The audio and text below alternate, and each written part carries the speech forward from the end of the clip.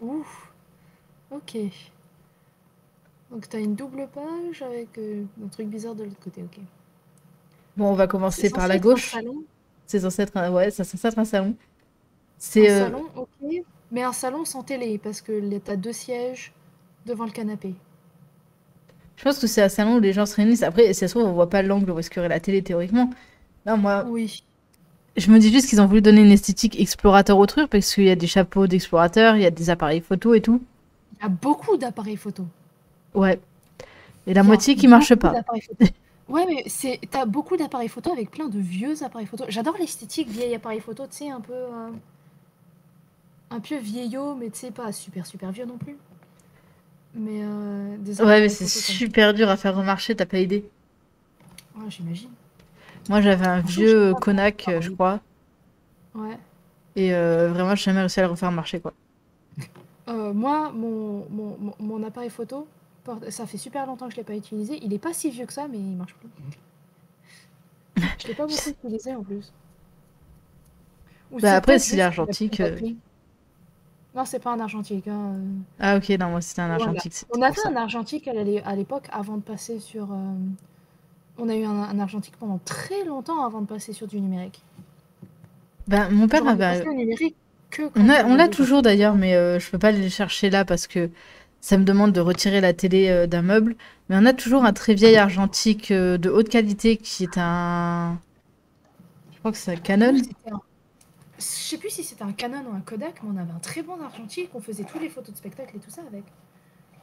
Mais l'argentique, c'est bien, ça peut être réutilisé, ça peut re-être à la mode. Le vieux numérique, ce sera jamais re à la mode. Mm. Le vieux numérique, c'est vraiment plus utilisable, quoi. Bref, ils ont, bon, ils ont des trucs dans l'armoire, des espèces de vases un peu chelous. Ouais. Ils ont trois chapeaux.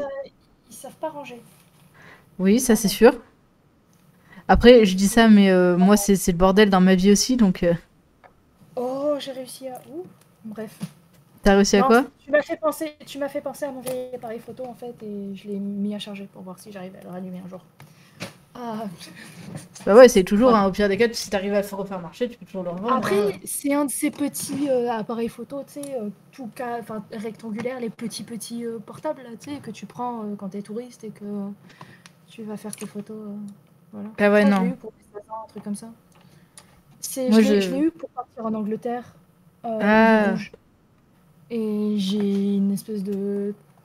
J'ai j'ai le drapeau anglais en fait sur, mon, sur ma housse. Elle est noire et il y a le drapeau anglais dessus. Voilà. C'est vrai que toi, t'as des... fous, hein, euh, Non, mais toi, je me souviens que t'avais déjà plein de drapeaux anglais partout, donc... Hum, C'était pour la première, ça. Je l'ai eu, ouais, pour mes 16 ans. Avant de partir euh, en Angleterre. C'est vrai que vous êtes parti en Angleterre. Enfin, vous, vous partez en Ouais. Angleterre et nous, on parle à Clermont-Ferrand. euh. Ouais, mais bon, quand t'es en anglais, il faut quand même un minimum euh, parler avec des anglais, tu vois. Après, je Tu dis ça, mais nous, on est parti chaque année, donc euh, on est parti chaque année à un festival euh, de cinéma, j'ai rien à dire. Ouais. Ben, Je veux moi, dire, de pensez pour les musiques, hein. Ouais. Oh, penser pour les musiques, ouais. Ils sont jamais partis, nulle part. Moi, j'ai- quand même eu de la chance par rapport à l'échange parce que de tous les euros anglais, de tous les échanges, enfin de, de, de tous les échanges en fait, il y a que Beth et moi qui sont restés en contact. On est le seul duo à être resté en contact. C'est vrai, bah tu t'entendais bien avec Beth, hein. Oui. On s'entend toujours bien, hein. C'est juste qu'on peut pas se voir en ce moment. Bah, d'un côté, Ah. en ce moment, euh, MDR le Brexit, MDR euh, la crise La sanitaire. prochaine, fois que, la prochaine fois que je vais en, je vais en Angleterre, il va falloir que je me fasse un passeport, sérieusement. Ah oui, c'est vrai que tu vas devoir te Il va faire un falloir que j'ai un passeport. visa.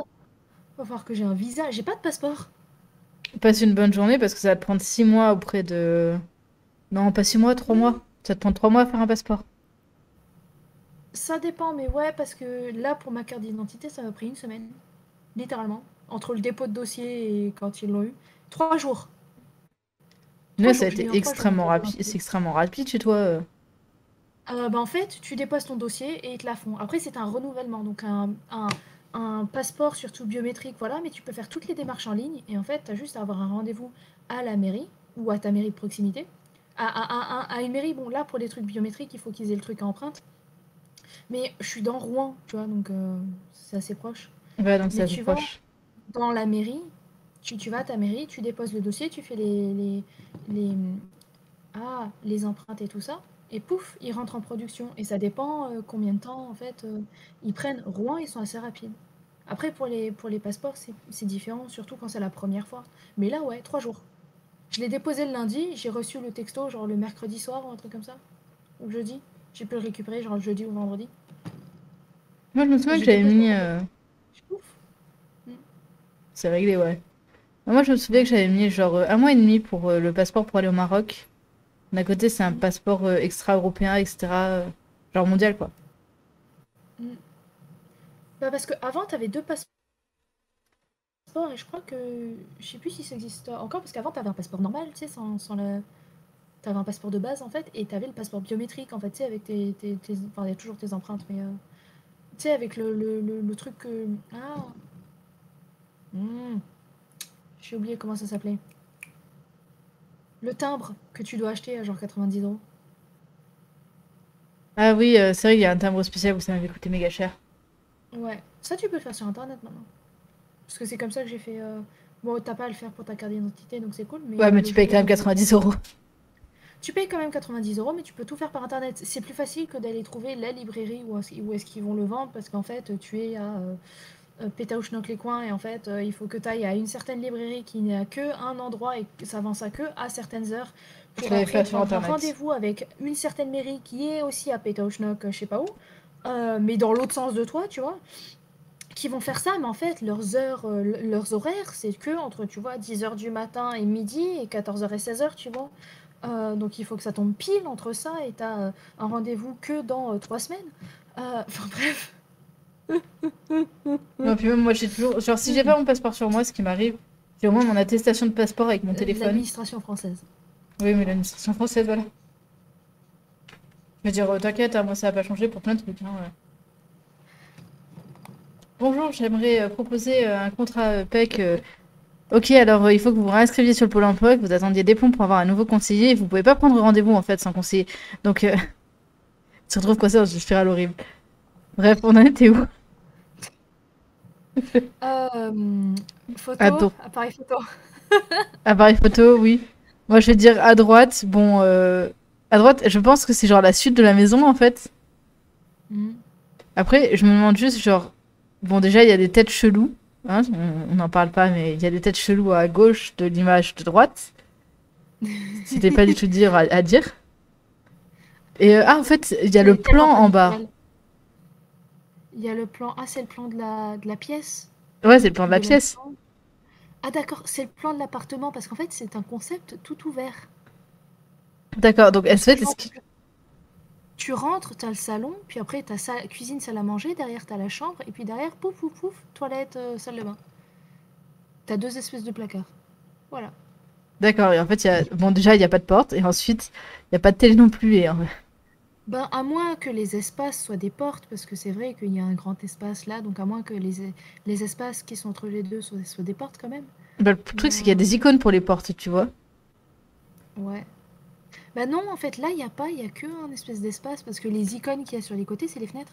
Ah oui, peut-être, ouais, ouais, j'y avais pas pensé. Bah, du coup, ouais, c'est un concept vendu euh, tout en un. euh. Faites votre salon à l'effigie Ikea, euh, c'est pas du tout flippant. Neat, ça veut dire quoi? Que c'est en solde? Que c'est en réduction? Je sais pas.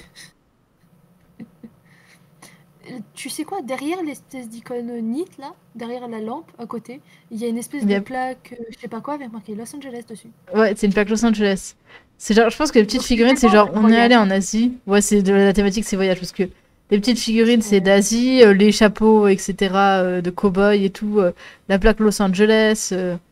Il y a un espèce de petit. euh, Il y a un petit ah, Big Ben. Où ça? Euh, image de. L'image tout à droite, euh, le carré euh, orange, jaune-orange. Ah ouais! C'est un petit Big Ben au un milieu. mini Big Ben. Ouais, y a- t'as une espèce de bol, je sais pas quoi. T'as des T'as poupées une- russes. T'as des poupées russes, t'as une gourde de, de- d'Afrique, un truc comme ça, ou d'Australie? Alors ouais, ouais, ils sont Le- sur la thématique du de- voyage. Ah, l'espèce d'éventail euh, chinois ou. Asiatique. je sais. Asiatique. Je Bah, c'est bien parce que l'Asie, c'est un continent euh, très grand. C'est sais un pas si c'est- très très grand, donc en fait, euh, Asie de l'Est.